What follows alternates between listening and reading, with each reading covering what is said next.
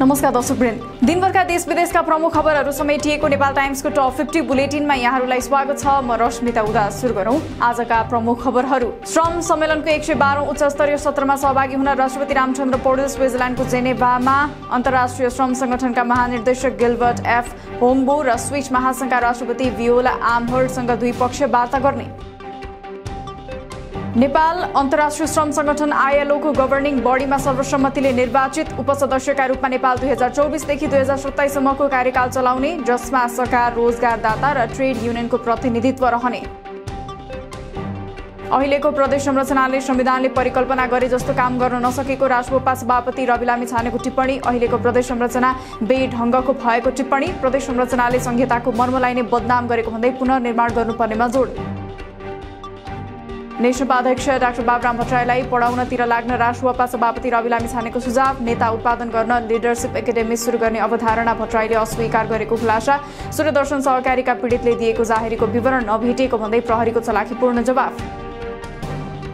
परम्परागत राजनैतिक शक्तिले नयाँ शक्तिलाई घेराबन्दी गरेका कारण सफल हुन नसकेको नेकपाको आरोप। भारतसँग भएका असमान सन्धि सम्झौता पुनर्लेखनका लागि आफूले पिजी बनाएर समस्या समाधान गर्नुपर्छ भनेर सुरु गर्दा आफूलाई भारतीय दलाल भन्ने गरेको भन्दै असन्तुष्टि। काङ्ग्रेस सह महामन्त्री जीवन परियारले फजुल खर्च घटाउन सार्वजनिक खर्च पुनरावलोकन आयोगको प्रतिवेदन पढ्न सरकारलाई सुझाव। दिल्ली राज खनाल नेतृत्वको आयोगले दिएको प्रतिवेदन सार्वजनिक गर्न समेत सरकारसँग माग। आगामी आर्थिक वर्षदेखि सबै राष्ट्रिय सेवाको नतिजा सूचक सहितको कार्य सम्पादनमा आधारित मूल्याङ्कन प्रणालीको विकास गरी कार्यान्वयन गर्न प्रधानमन्त्री प्रचण्डको निर्देशन।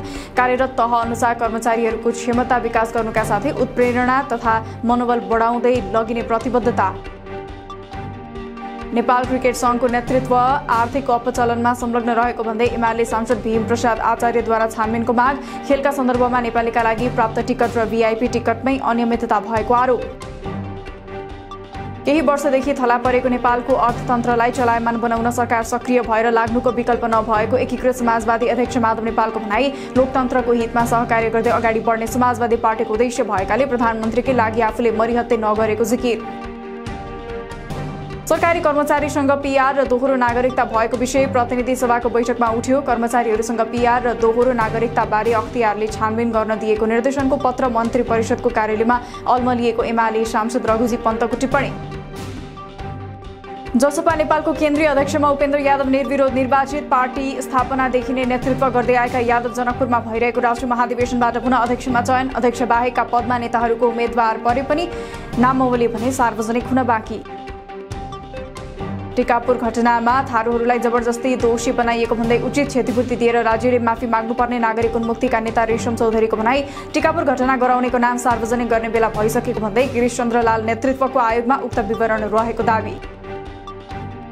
नेपाली सेनालाई विकासमा लगाउन सकिने तर ठेक्का नै उसले लगाउने विषयमा सोच्नुपर्ने आम जनता पार्टी अध्यक्ष प्रभु शाहको भनाई सेनालाई आधुनिक बनाउन आवश्यक रहेको र यसका लागि सरकारले स्पष्ट नीति लिनुपर्ने सुझाव।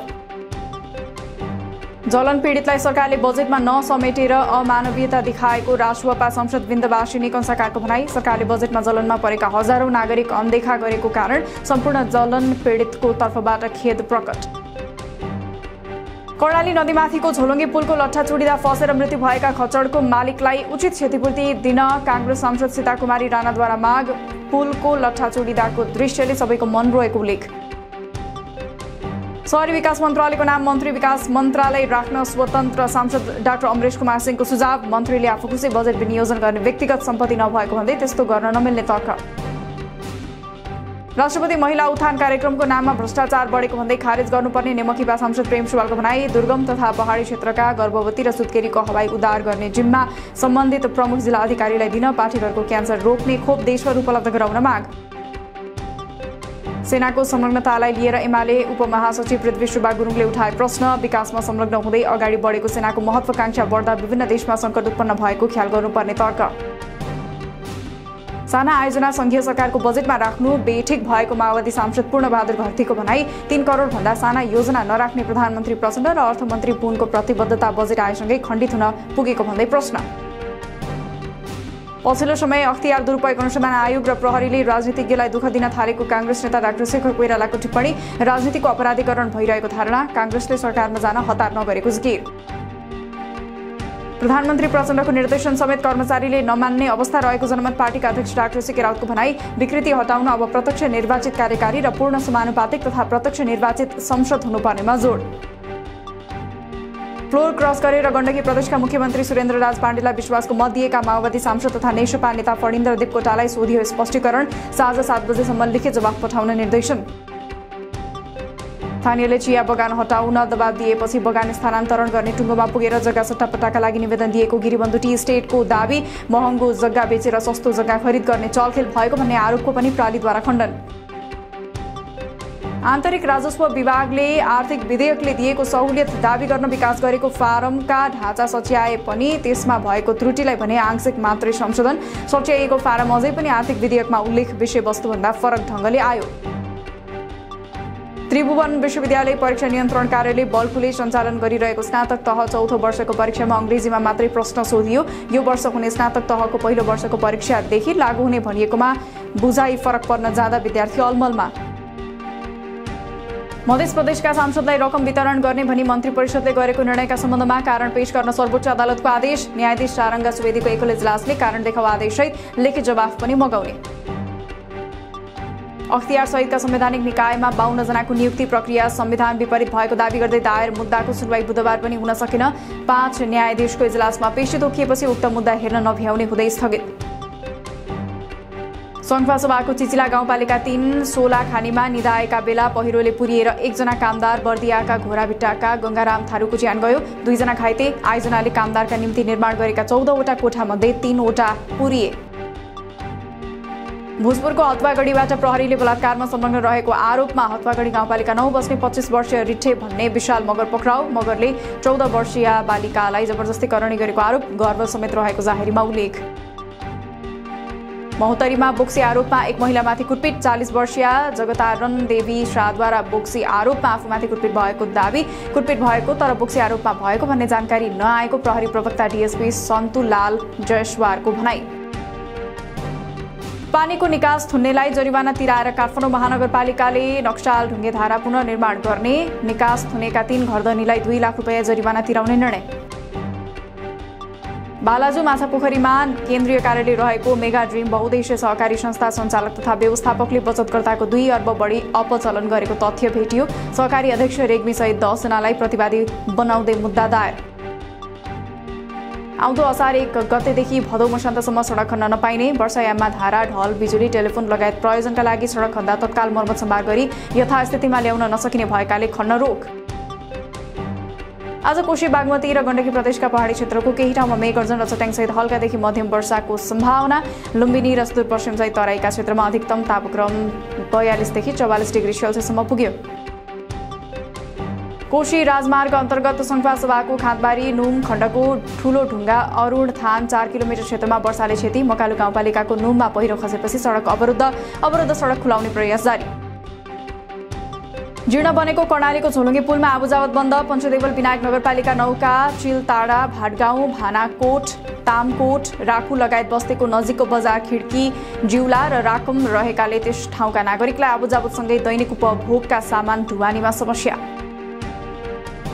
बङ्गलादेशको सरकारले भारतीय प्रसारण लाइन हुँदै नेपालबाट चालिस मेगावाट बिजुली किन्ने निर्णय सिसिजिपीको पन्ध्रौँ बैठकको निर्णय अनुसार बङ्गलादेश पावर डेभलपमेन्ट बोर्डले आगामी पाँच वर्षका लागि चालिस मेगावाट बिजुली किन्ने र त्रिपक्षीय सम्झौता समेत गर्ने बङ्गलादेशको निर्णय।